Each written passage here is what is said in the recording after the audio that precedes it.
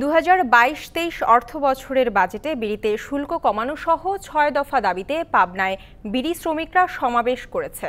পাবনা জেলা বিড়ি মজদুর ইউনিয়নের আয়োজনে এ সমাবেশ অনুষ্ঠিত হয়। সমাবেশে বক্তারা বিড়ির অগ্রিম দশ শতাংশ আয়কর প্রত্যাহার, বিড়ি শ্রমিকদের ন্যায্য মজুরি, সুরক্ষা আইন প্রণয়ন, সরেজমিনে পরিদর্শন ছাড়া বিড়ি কারখানা কারখানার লাইসেন্স দেয়া বন্ধ করার দাবি জানানো হয় সমাবেশ থেকে।